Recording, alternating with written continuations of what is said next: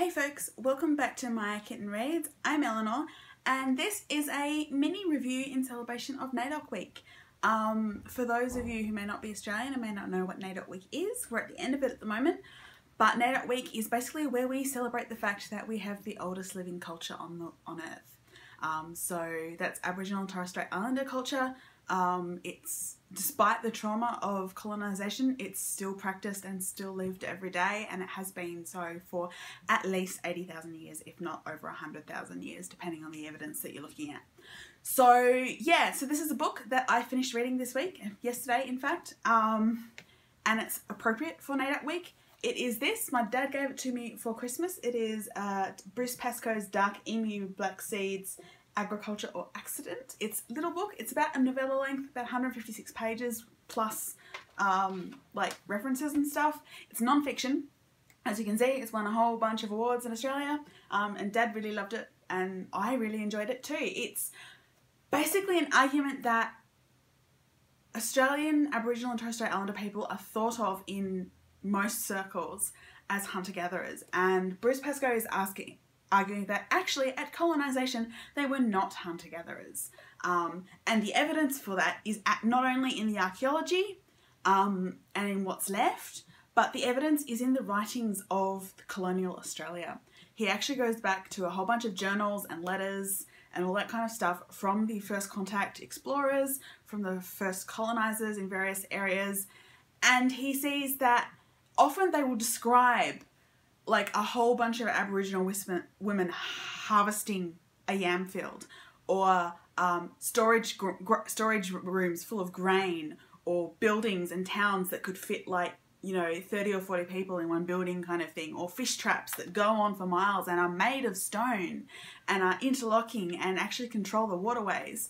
All this permanent sort of stuff and agriculture not hunter gathering um, so he goes through, um, and he looks at, you know, he looks at the use of grain. He looks at the use of meat and how uh, animal stocks were managed. Um, and he looks at the use of storage and so how they stored um, food.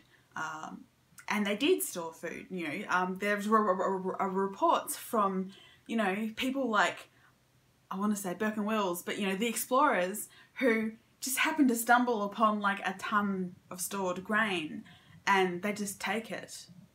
And then they go and say that, you know, in the next page they'll say something about, you know, the the primitiveness of the local people or the fact that they're hunter gatherers. And it's like, no, they've just got you've just raided this storehouse of grain. Um, so yeah, and it looks at the way that um, how do I say it? The way that spirit, spirituality and culture impact on that and prove that, you know, it was actually an intense agrarian society. It just worked differently than anywhere else on earth. Um, and the fact that we have had this culture that has lived for 80,000 years with no evidence of long-term conflict, of possessiveness, of, you know, there was, there was conflict, but it didn't last and there were there were there was law and there were rules about how you dealt with it and how people were punished and it lasts this culture lasted for 80,000 years. It wasn't an and that's basically his his argument is that it wasn't a hunter-gatherer culture. But people even now in academics ignore the evidence that we have. You know the evidence is there like he quotes so many letters and journals from the time who say who show evidence of this settled culture and then ignore it in the next paragraph and therefore academics ignore it.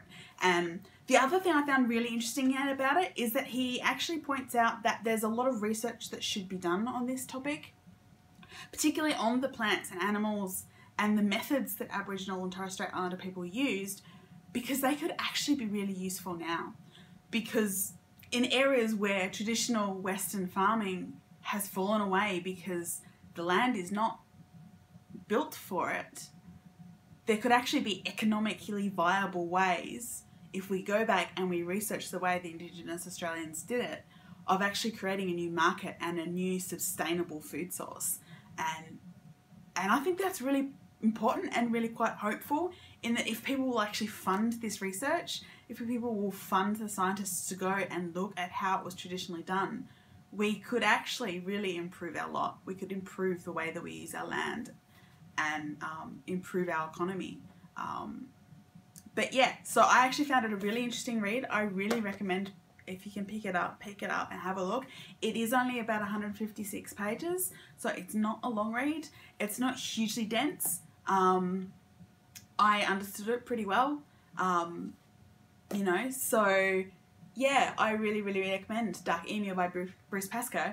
And I'm actually looking forward to, at the end of this month, I'm going to see Bangarra Dance Theatre do their latest performance, which is called Dark Emu and is actually inspired by this book. So I'm really looking forward to seeing how these topics are represented on stage as art. So um, yeah, that was pretty much my my NAIDOC Week review. I really hope you enjoy it and I really recommend you pick this book up. Um, let me know if you have read this book because I'd really like to hear what other people think about it. And I will talk to you again soon. Bye.